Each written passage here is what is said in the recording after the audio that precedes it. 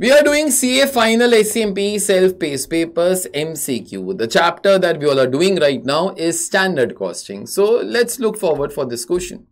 Deciding the selling price of the new product in the market is most difficult decision. Honestly, it is because you don't know what is the right price.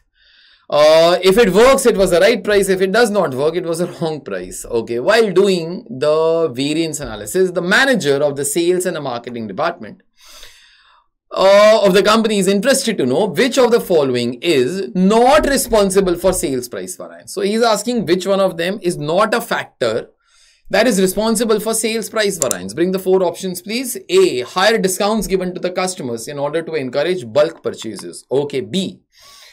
B over here is what? Failure to satisfy the demand due to production difficulties. What does it mean? I'll tell you.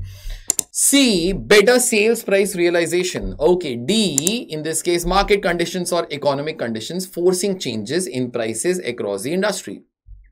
Think of the answer first.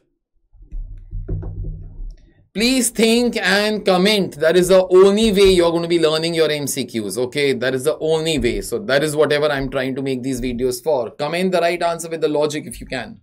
Pause the video over here. So let's look forward for the four options. See, how do you compute selling price variance? Selling price variance is at what price you had to sell minus at what price did you sell into actual quantity sold.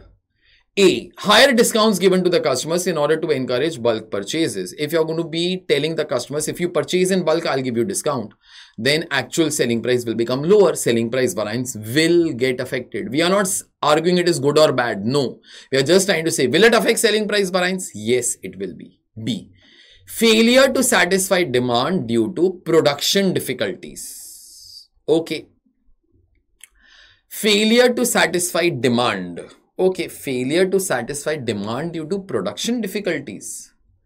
Now, what is the meaning of this? Suppose uh, you had to use some materials, okay, whenever you are producing something. You did not use that material in a proper way and more materials was not available. Example, so material became a limiting factor. So there was a production difficulty. We cannot be producing more. Will it affect selling price variance? I really think that it does not. How will that affect your selling price? Let me have one other example. Your machines were frequently under a breakdown. So your production was becoming a problem.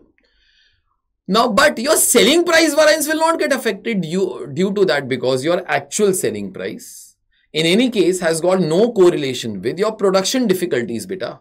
So as per me, B can, B can be the answer because B does not affect selling price variance. Let's talk of C. Better sales price realization. You thought you'll sell the product at 10 rupees, but ultimately you sold at 13. So better sales realization. So I think so. C will be a reason for sales price variance. D market conditions or economic conditions forcing the changes in the prices across the industry. Simple thing, suppose during COVID, you all will understand that market conditions were bad.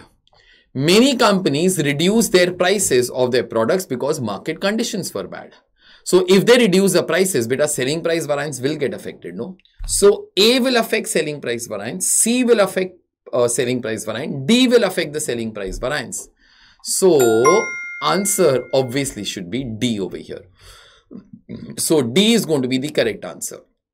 See, sometimes it will happen that in order to be getting the correct answer, you will have to try to negate the other answers. So if you are ever confused, if you do not directly know the answer, then always better to think about each and every option, cross out the wrong option. You might directly just get the correct option by that. Slight, slightly a longer way, but then it works sometimes. Okay. So that's it about uh, this question. I'll see you all next time with another MCQ. Bye.